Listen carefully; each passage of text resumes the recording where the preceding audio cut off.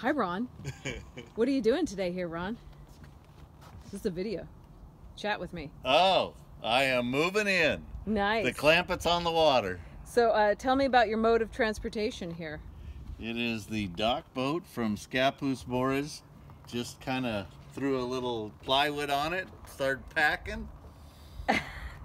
Luckily, there was no barges in our way because we couldn't see. oh yeah, you wouldn't. Uh, the gravel barge would would They were about ready to run us. They would have run us over.